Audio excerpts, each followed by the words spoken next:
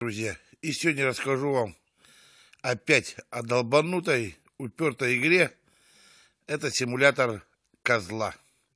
Год Ромпаш или Год Симулятор. Это полная версия. Чем она отличается от неполной версии? Здесь две карты, две локации. Они больше. Там появились люди, больше предметов и так далее. Ну, давайте нажмем на тап и посмотрим.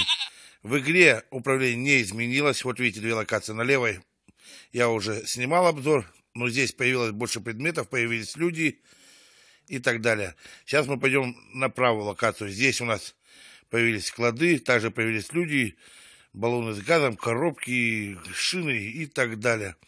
Игра медленно грузится, также появились баги. Ну, давайте нажмем и посмотрим. Вот видите, загрузка идет довольно-таки медленно. Но наш козел остался тем же тупым, который разбивает все. Джойстики у нас то же самое. Ну вот. Давайте будем скакать им, забивать, как обычно, все предметы. Поищем людей. Может, они попадутся нам. Как обычно. О, вот, он стоит. Сейчас он зарет. О, ну, есть. Все, мы его сбили. Ну, также мы можем скакать, сбивать все подряд. Давайте забежим в склад. Посмотрим, что там. Ну, вот видите, я сбил кучу шин. Я вообще не понимаю кайфа в этих играх.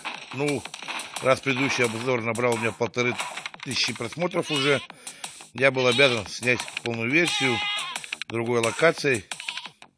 Так что записывайтесь ко мне на канал. Я рекомендую. Смотрите другие обзоры. Смотрите обзор первой части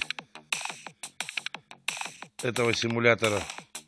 Конечно, это не ПК-версия, ПК-версия намного интересней, забойнее.